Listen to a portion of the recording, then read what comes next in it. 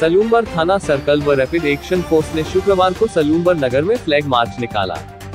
थानाधिकारी हनुमंत सिंह सोढ़ा के नेतृत्व में निकले फ्लैग मार्च में सलूम्बर पुलिस थाने की टीम और रैपिड एक्शन फोर्स की संयुक्त टीम शामिल हुई। फ्लैग मार्च का संदेश आगामी दिनों में आने वाले त्योहार कार्यक्रम व अन्य गतिविधियों में सतर्कता कर दिया गया। इस फ्लैग मार्च में Brijendra Singh Rulania, assistant commandant, rapid action force सहित जवान मौजूद रहे।